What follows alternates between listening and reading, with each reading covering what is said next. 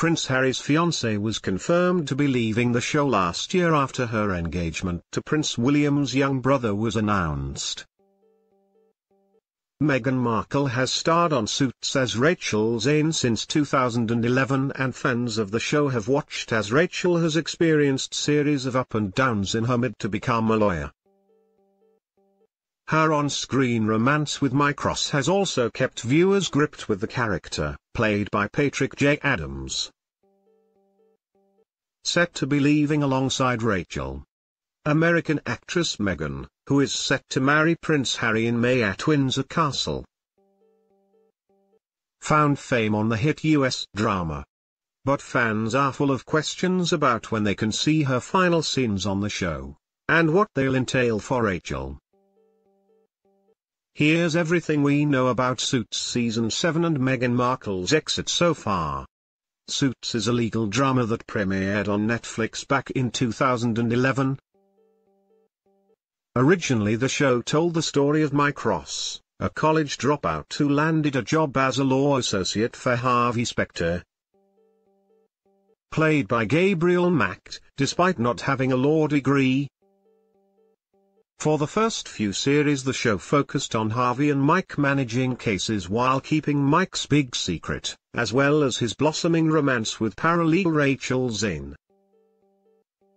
The second half of the seventh series of Suits will begin on US Netflix on March 28, before landing for UK viewers the very next day. It's already been confirmed that the show is set to return for Series 8.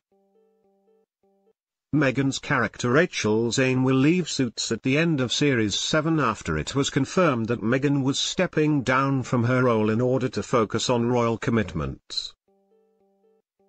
Patrick J. Adams, who plays Mike Ross, is also leaving the show at the end of the season. Meghan's co-star Patrick posted an emotional tribute to the future royal last year. Following the news of Meghan and Harry's engagement, and her exit from the show. Taking to Twitter he posted, playing Meghan's television partner for the better part of a decade uniquely qualifies me to say this, Your Royal Highness. You are a lucky man and I know your long life together will be joyful, productive and hilarious. Meghan, so happy for you. Friend.